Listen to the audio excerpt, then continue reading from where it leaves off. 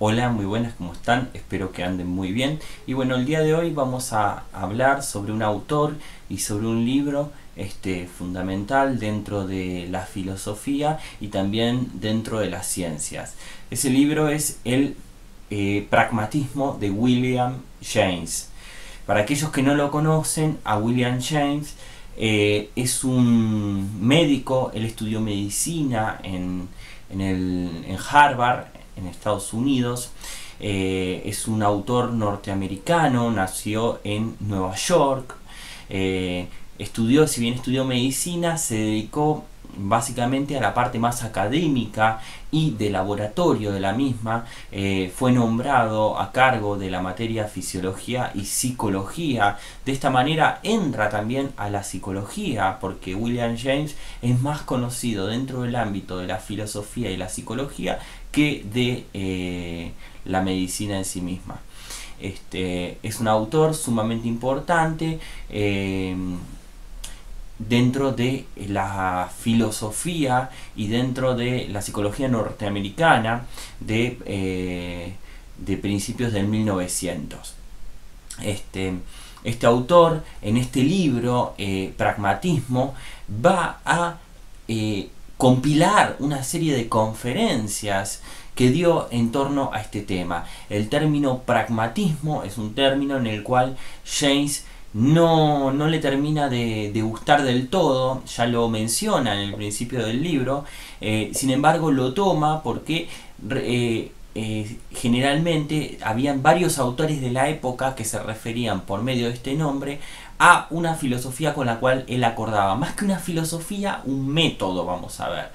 Bueno, al comienzo del libro, él lo primero que dice es que pragmatismo se trata de un nombre nuevo para hablar de viejas formas de pensar.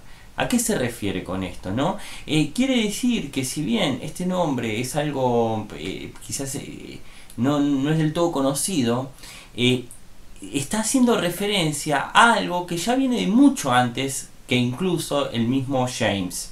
Este, de hecho, acto seguido, lo primero que hace es agradecerle su visión pragmatista a Stuart Mill, no sé si lo conocen, es un filósofo, eh, John Stuart Mill, muy conocido, escribió bueno, mucho sobre el tema de la libertad, etc. Eh, le, bueno, le vamos a dedicar en algún momento otro video a una de sus obras principales. Pero ¿a qué voy con esto? Voy a que eh, no es algo novedoso lo que nos está trayendo James, pero sí está empezando a formalizarse. Si este libro tiene razón de ser, es porque empieza a formalizar esta metodología o este método que él denomina pragmatismo.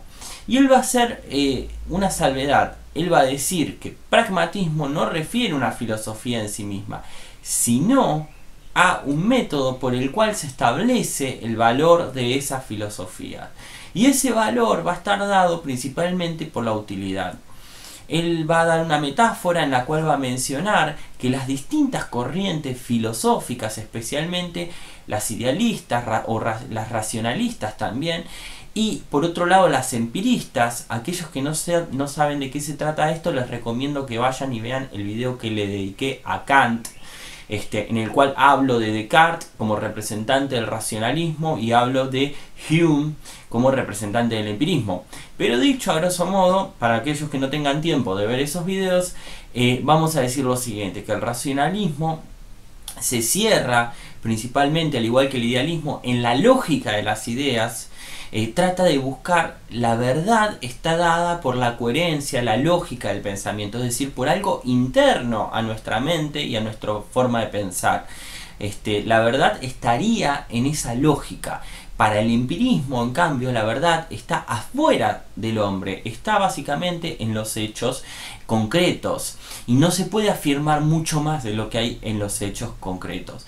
Entonces, James va a decir que para poder, generalmente las filosofías o se definen como eh, empiristas o incluso materialistas o racionalistas, idealistas, y estas dos polaridades generalmente se oscila y se discute dónde está la verdad. Él va a tomar un criterio completamente distinto. Él va a decir, para entender la verdad, el método pragmatista de pragmatismo, lo que va a entender es la verdad en su utilidad.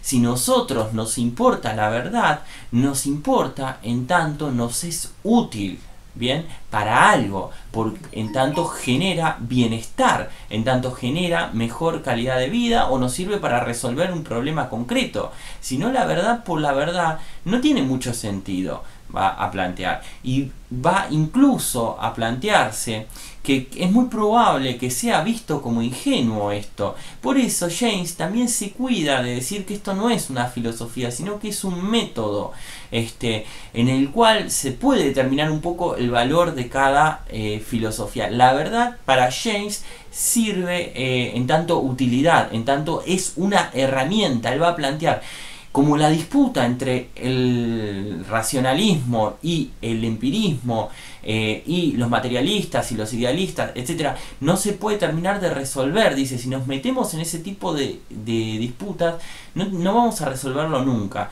En cambio, él lo que propone no va a decir que uno tiene razón o el otro. Él lo que va a decir es que simplemente se trata de herramientas y que uno evalúa esas herramientas en torno a la utilidad y en la medida en que le permiten resolver nuestros problemas mundanos, por decirlo de alguna manera, nuestros problemas reales y concretos en el mundo.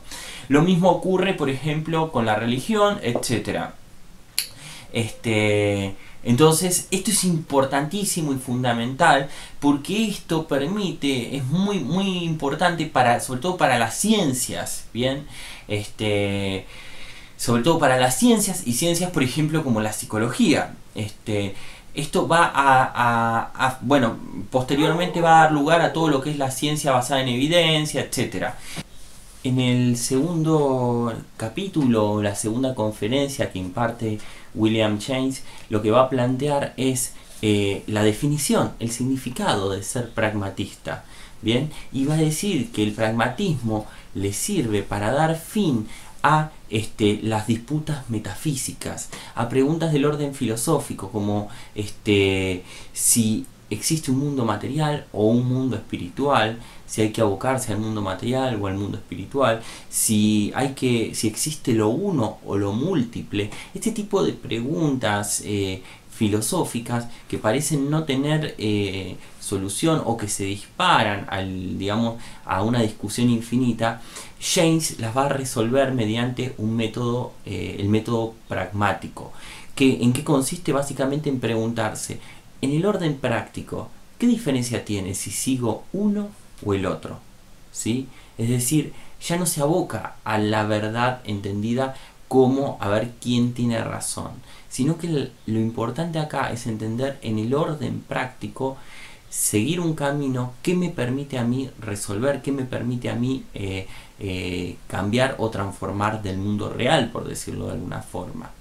Sin embargo, James no, él no plantea que haya una, digamos, una realidad. Él va a decir, hay muchas realidades, hay muchas formas de entender la realidad, dependiendo cada marco teórico, cada marco eh, encuadre filosófico que, que se utilice y todos son perfectamente válidos pero hay que someterlos a un orden práctico él va a dar una metáfora en la cual puede pensarse este las distintas corrientes y formas filosóficas como habitaciones de un hotel. ¿sí? En un lado tenemos la habitación de los empiristas, en otro la de eh, los racionalistas, en un lado la de los idealistas, en otro la de los materialistas, y ninguna, eh, cada uno está dentro de su compartimiento estanco. Poder recorrer y tener la libertad para poder recorrer estas distintas filosofías es el método pragmatista. El método pragmatista no es una filosofía en sí, sino que es un método para poder, eh, digamos, bucear entre las distintas realidades, las distintas ópticas, pero siempre bajo el criterio de que la verdad tiene que coincidir con lo útil, con lo práctico, tiene que servir a un fin determinado, o sea, tiene que ser útil, una herramienta útil para algo. ¿En de vuelta a la pregunta de James, ¿en qué cambia si entro a una habitación o entro a otra? ¿En qué cambia si utilizo, si, si utilizamos o vamos por el lado del racionalismo o vamos por el lado del empirismo. Es importante entender que para William, William James eh, las teorías no son en sí mismo eh, algo que los investigadores, los filósofos, los científicos descubren de las cosas, ¿sí? Esta idea de descubrimiento, sino que las teorías son cosas que existen en nuestra cabeza y que solamente tienen valor de herramienta para poder lograr algo determinado. ¿sí? Por ejemplo, si yo digo, bueno, la teoría del átomo es un descubrimiento del átomo, me permite a mí entender cómo funciona el átomo. Lo observé y pude descubrir algo de la esencia y de la sustancia de ese átomo. Para James esto no es así. La teoría del átomo solamente es algo que existe, es un conjunto de ideas que existe en la cabeza de las personas y que solamente tiene valor en tanto tal, en tanto nos permita a nosotros ser un instrumento que nos permita operar sobre el átomo. ¿sí? Exactamente al revés. Digo, a veces confundimos nuestras ideas con realidades o con, o con la verdad, con las cosas, peor aún. Sin embargo, son simplemente discursos que tienen valor instrumental.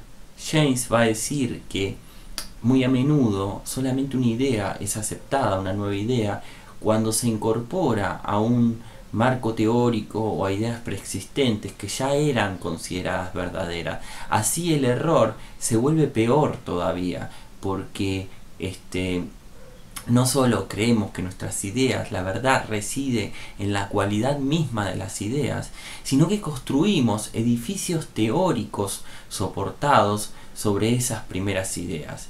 Es como si yo creyera, por ejemplo, a priori, porque es coherente y lógico creer en Dios, y a partir de ahí construyo otras ideas encima de estas. Por ejemplo, eh, acepto que, la Tierra gira alrededor del Sol y que el Sol este, sería, por ejemplo, Dios. Esa teoría la acepto porque es coherente con mis otras ideas previas de que es, de que es lógico que Dios exista.